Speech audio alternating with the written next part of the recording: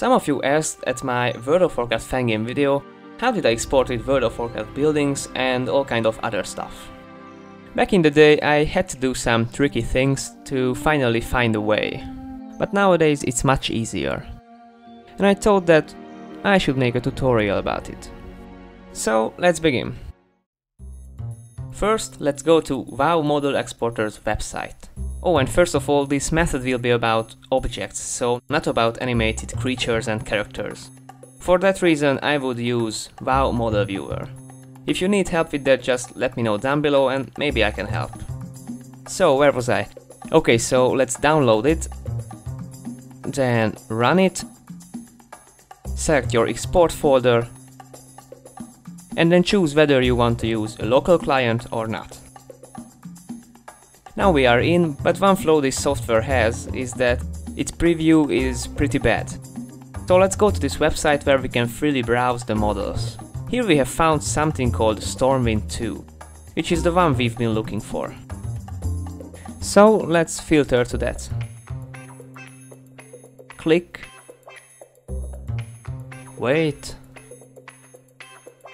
and then click Export Model to OBJ.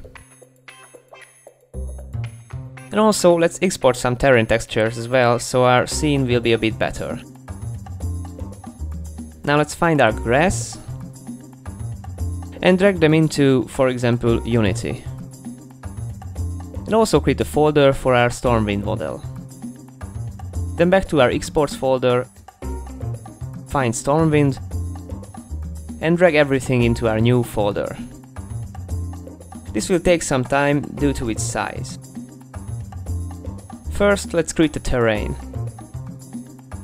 And also make it a bit bigger so the city could be placed on it. And then create a layer with our grass texture. Now let's find the main Stormwind model in our folder and drag it into the scene.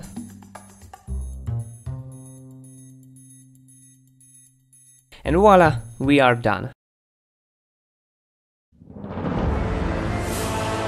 Now let me know in the comment section what will you do with these resources.